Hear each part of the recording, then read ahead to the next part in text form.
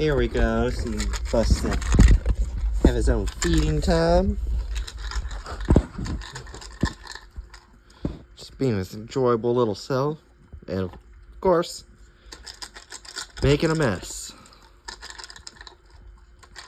If you're wondering about the cardboard from the refrigerator, there's uh there was a leak at one point, and I just decided not to remove the cardboard just in case it leaks again. Uh, but yeah. But yeah, he's, he's being such a good boy. He he didn't immediately rush to the food bowl. He waited for me to pour everything in. He's just being a real lovable boy.